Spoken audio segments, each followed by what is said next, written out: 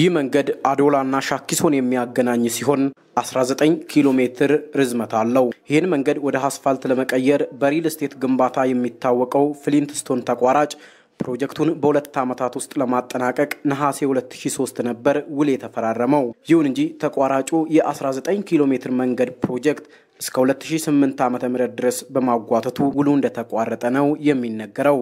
የተቋረጠውን የመንገድ ፕሮጀክት በማስቀጠል ፕሮጀክቱን በስምንት ወራት ውስጥ ለማጠናቀቅ በ2008 ዓ ም ቃል የገባው የኢትዮጵያ መንገዶች ባለስልጣን እንኳን የፕሮጀክቱን ግንባታ እንዳቋረጠው ነው የሚነገረው። መጀመሪያ አካባቢ በግለሰብ ኮንትራክተር የተጀመረ ቢሆንም በተፈለገውና በተቀመጠው ሰዓት ውስጥ ሳያልቅ ሲቀር የመንገድ ስራዎች ድርጅት ነው አሁን እየሰራ ያለው።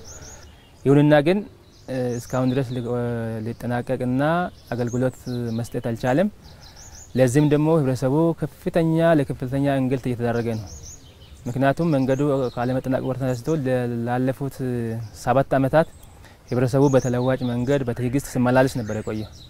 አንድ እሱ ነው ዋናኛው ችግር። ሁለተኛ ችግር ደግሞ ከስታንዳርዱ ጋር ተያይዘው ያለው ነው ህብረተሰቡን እያነሳ ያለው ቅራኔ። የዚህ መንገድ ፕሮጀክት መጓተት ለአካባቢው ነዋሪዎችና ለትራንስፖርት አገልግሎቱ ፈተና እየሆነ ነው ተብሏል። እኔ አንድ መንግስት ላይ እዚህ ለምለው ነገር እነሱን የበላይ ሆኖ የሚከታተላቸው የለም ወይ? የዚህን ያህል ህዝቡ ላይ ሲጫወቱ ከቆዩ በኋላ እንደገና ኤራ ወሰደው። ኤራም ወሰደና አዶ ነው ተቋራጭ መስሪያ ቤት ነው የሚባለው። ይጀምራሉ፣ ያቆማሉ፣ ይጀምራሉ፣ ያቆማሉ። ይሄው እንደምታዩት ነው። እንጀራ በየትኛው ሀገር ነው እንደዚህ ተራክፎ አዋራው የሚበላበት ሀገር ቢኖር ሻኪሶ ነው።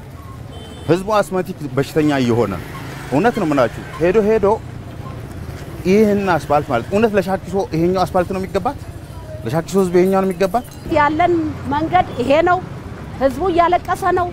በዝናብ ጊዜ መሄጃ የለንም። ያሉት ተሽከርካሪዎች ባለሀብቶቻችን ጥራት ያለው መኪና እያመጡ ነው። ግን ይሄ ነው መንገዱ። ይሄ መንገድ ይታዮችስ ማንም የግል አንድ ባለሀብት ቢሰራው እኛ እኮ ባለሀብቶቻችን ብንይዝ አስፋልት እንሰራለን። ግን ከኛ የሚወጣው resource የት እየሄደ ነው?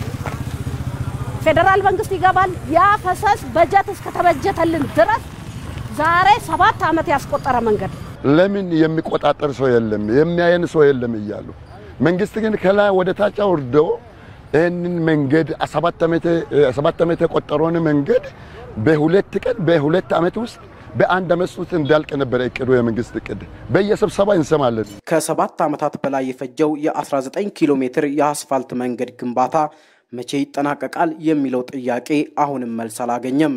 ለኢትዮጵያ ቴሌቪዥን ሪፖርት መለሰ አምዴ ጉጂ ሻኪሶ